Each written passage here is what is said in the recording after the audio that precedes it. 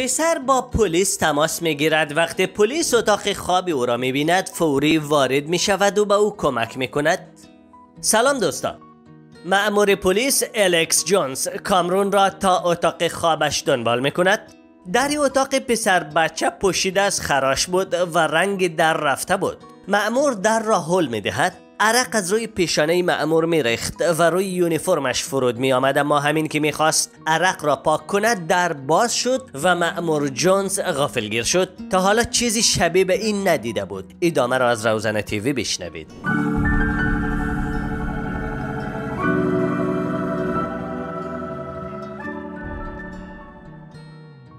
ده سال بود که الکس جونز به عنوان معمور پلیس کار می‌کرد.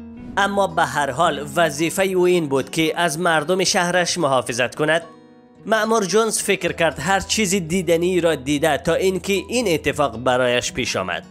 معمور جونز با کیکی که زنش پخته بود به اداره پلیس رفت. آماده شروع کردن شیفتش بود و روی صندلیاش نشست اما ناگهان تماسی دریافت کرد که سکوت را به هم زد.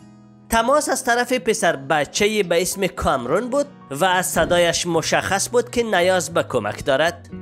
معمور با عجله سوار ماشینش می شود و به سمت آدرس کامرون می رود. با وجود ترافیک شدید معمور ظرف 15 دقیقه به آنجا رسید. همینطور که به خانه نزدیک می شد صدای تپش قلبش را می شنید. وقتی معمور جونز از ماشینش پیاده شد متوجه پسر کوچیکی شد که جلوی خانه نشسته بود. با خودش گفت این حتما کامرون است. مامور جونز به سمت پسر رفت اما فکر نمی کرد این حرف ها را بشنود. مادرم اجازه نمی دهد بازی کامپیوتری کنم. بچه بیقرار بود. مامور جونز با خودش گفت یعنی واقعا به خاطر همین به من زنگ زده؟ جونز حدس می‌زد مشکلی دیگری هم وجود داشته باشد و البته همینطور هم بود. مامور جونز از پسر خواست اتاقش را نشان دهد و پسر با تردید قبول کرد. مادرش از خانه بیرون رفته بود و در خانه همسایه بود. معمور جونز داخل رفت تا ماجرا را بفهمد. معمور جونز دل شوره داشت. خانه تقریبا خالی بود. اساسه وجود نداشت و به نظر می رسید تازه به این خانه آمدن اما واقعیت این بود که کامرون و خانوادهش چند ماه در این خانه بودن. پس قابی عکس های خانواده کجا بودن؟ همان موقع بود که معمور جونز فهمید مشکل جدیتر از یک بحث ساده بین پسر و مادرش است.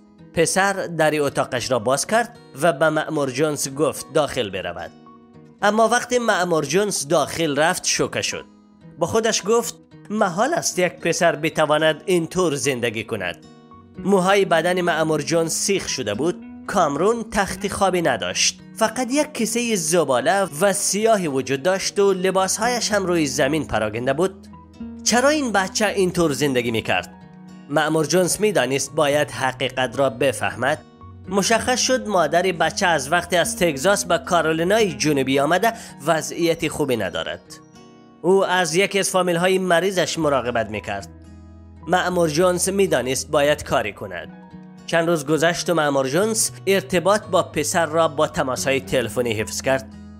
دوست نداشت پسر این سبک زندگی را ادامه دهد. نقشه در ذهنش داشت. پلیس جونز با یک کامیون کنار خانه پسر استاد. از کامیون پیاده شد و در را زد. کامرون در را باز کرد و معمور جونز با لحن محبت آمیزی گفت سلام کامرون اینجا رو ببین. و بعد با دست به کامیون اشاره کرد. وقتی پسر بچه به داخل کامیون نگاه کرد چشمانش پر از اشک شد. کامیون پر از هدیه هایی بود که همه ایشان توسط معمور جونز خریداری شده بود. کامرون یک تخت صندلی یک میز مطالعه و یک تلویزیون و کلی چیز دیگری جایزه گرفت.